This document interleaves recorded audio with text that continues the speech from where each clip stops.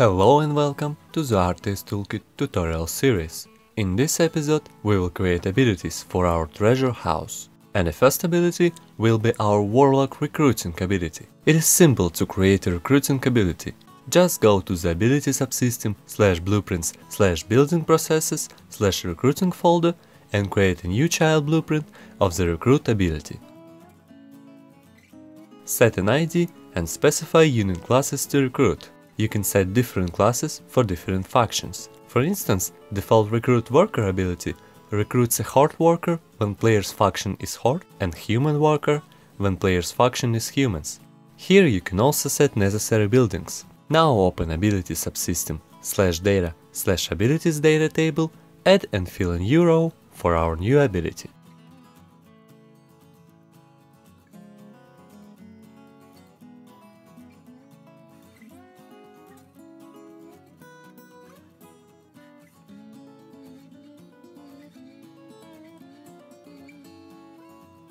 Finally, open Actor's Abilities data table and add this new ability to the treasure house.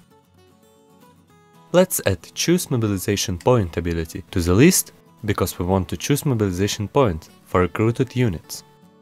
Also open your treasure house and set mobilization point actor visible again. It is important to set that location of the unit slot scene root to the value greater than 0. 80 should be enough. That's it, let's test it. I've also deleted necessary buildings from the build treasure house ability, so we don't need to build townhouse firstly.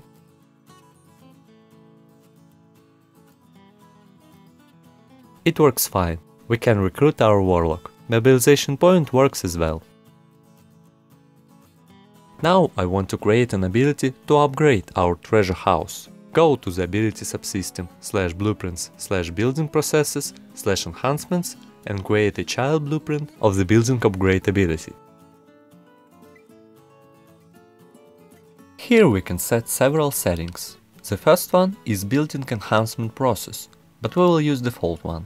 The second one is upgrade level. It is level 1 upgrade, so I'll not change it. The next one is upgrade tick frequency. We also don't need this setting. Next level upgrade ability ID. If you want to create a level 2 upgrade, you should specify here its ID but I'll have only one upgrade, so I'll leave it none. And finally, we should specify an ID. Also, you can add necessary buildings classes. Now open abilities data table and once again fill a new row. Note that we don't need to check is one time use setting, because upgrade is one time by default and always will be removed after the player uses it. After that, open Actor's Abilities data table and add new recruit ability to the Treasure House abilities list. Finally, open your Treasure House and override an upgrade process event. Here I'll just take our stats component and change max health value by 500 when the treasure house reaches level 1. Also don't forget to add a call to the parent function, it is important. You can also override upgrade update process event if you need to, but make sure that the update frequency is a positive value. Let's open Treasure House Mesh Actor and override and upgrade process event for the mesh. I'll add an extra mesh for the upgraded Treasure House.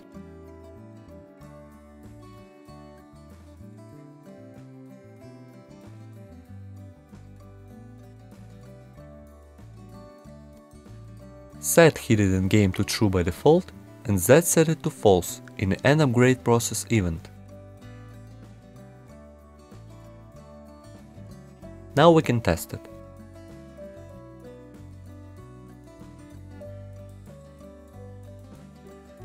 As you can see, we can upgrade our treasure house and its health will be increased. Also, here is our extra mesh have appeared.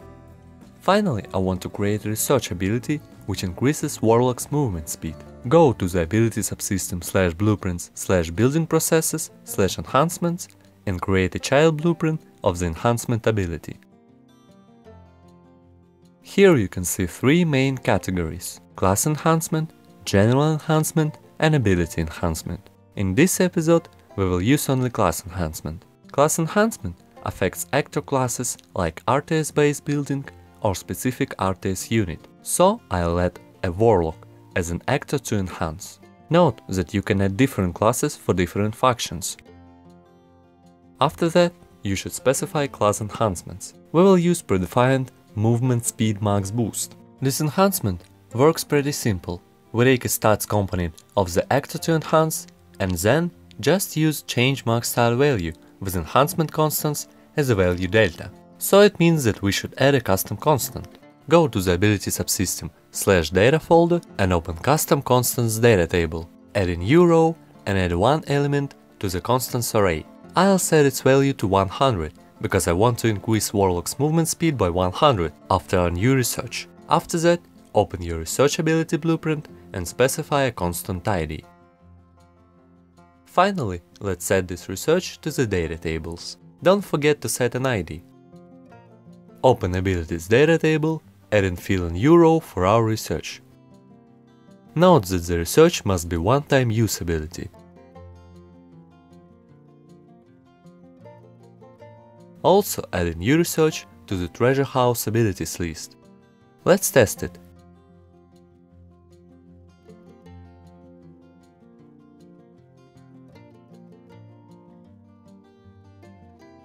As you can see, after the research is completed, Warlock's movement speed increases.